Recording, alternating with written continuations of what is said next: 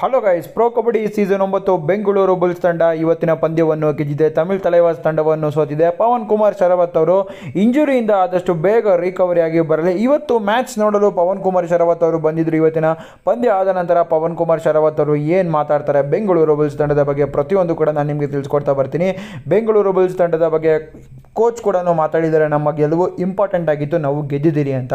ಇದೀಗ ಪವನ್ ಕುಮಾರ್ ಶರಾವತ್ ಏನು ಮಾತಾಡಿದ್ದಾರೆ ನೋಡ್ಬೋದು. ಪವನ್ ಕುಮಾರ್ ಶರಾವತ್ ಅವರು ಪ್ರೆಸ್ ಕಾನ್ಫರೆನ್ಸಲ್ಲಿ ಕ್ಲೀನಾಗಿ ಮೆನ್ಷನ್ ಮಾಡಿದ್ದಾರೆ. ನನಗೆ ಸ್ವಲ್ಪ ತಿಂಗಳ ಕಾಲ ರೆಸ್ಟ್ ಬೇಕಾಗಿದೆ. ಸದ್ಯಕ್ಕೆ ಪ್ರೋ ಕಬಡ್ಡಿ ಸೀಸನ್ ಒಂಬತ್ತರನ್ನು ನಾನು ಆಡೋಕ್ಕೆ ಇಷ್ಟಪಡ್ತಿಲ್ಲ.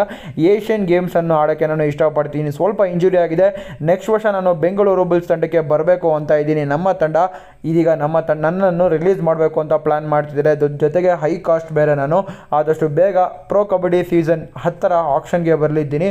ನಾನು ಬೆಂಗಳೂರು ಬುಲ್ಸ್ ತಂಡಕ್ಕೆ ಆಡಬೇಕು ಅಂತ ಇದ್ದೀನಿ ಅಂತ ನಮ್ಮ ಪವನ್ ಕುಮಾರ್ ಶರವತ್ ಅವರು ವ್ಯಕ್ತಪಡಿಸುತ್ತಿದ್ದಾರೆ ಅಂತ ಹೇಳ್ಬೋದು. ನಮ್ಮ ಅಭಿಮಾನಿಗಳಿಗೆ ಖುಷಿಯಾಗುತ್ತೆ ಪವನ್ ಕುಮಾರ್ ಶರವತ್ ಅವರು ಈ ಥರ ಅಂತಿರೋದು ಬೆಂಗಳೂರು ಬುಲ್ಸ್ ತಂಡದ ಅಭಿಮಾನಿಗಾಗಿ ಆಗಿ ನಾನು ವಿಕಾಸ್ ಕಂಡೋಲ ಬದಲು ಪವನ್ ಕುಮಾರ್ ಶರಾವತ್ ಅವರನ್ನು ನೋಡ್ತಿದ್ದೀನಿ.